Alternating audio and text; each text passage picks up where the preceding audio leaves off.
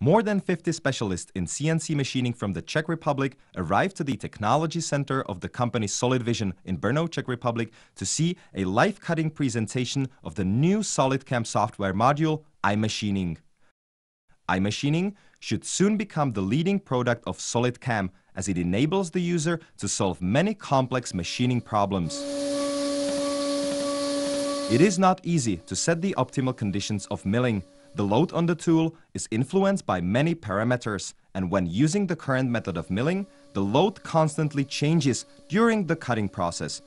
The tool settings are then a compromise, using the most conservative conditions as a base. The new software module can solve this problem and due to the ease of use and advanced automated algorithms, it provides the user with remarkable savings in both time and money. The algorithm of the software is revolutionary. It can maintain a constant load of the tool during the entire milling process. The machining time is remarkably shorter, sometimes even an unbelievable 70%.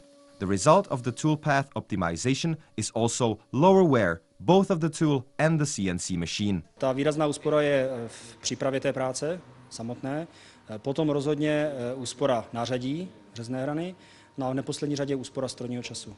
Jsou tam rovnoměrné řezné podmínky, a proto se můžeme blížit k hranici toho nástroje, aniž bychom riskovali poškození, fatální poškození toho nástroje. After the first series of live cutting presentations, many of the participants were confident that they could save time and money with iMachining. The advantages of this module are most remarkable when milling parts from hard materials, steel or titanium. Among the first to order were mainly companies producing parts for the aerospace industry. Here, the ability to choose an optimal way of milling, leading to a good result in a short time, plays an important role. iMachining brings all of this. Spoustu času strávíme eh, hledáním vhodných technologií, jak daný.